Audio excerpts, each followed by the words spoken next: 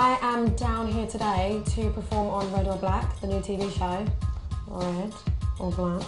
Um, to basically perform my new single, Who's Laughing Now, and get involved in the games and be part of the Red or Black decision.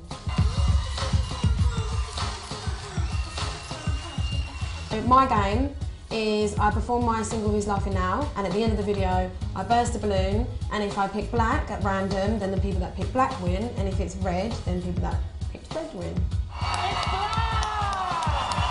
I think the most fun thing about this show is that it's just normal people. It's not kind of like, I don't know, it's quite nice for normal people to have the opportunity to win money that could completely change their lives that don't have it. Today is quite an exciting performance because it's the first performance that I'm going to stand up for for nearly three months. And I thought I'd wear red or black for the occasion. Um, kind of makes sense.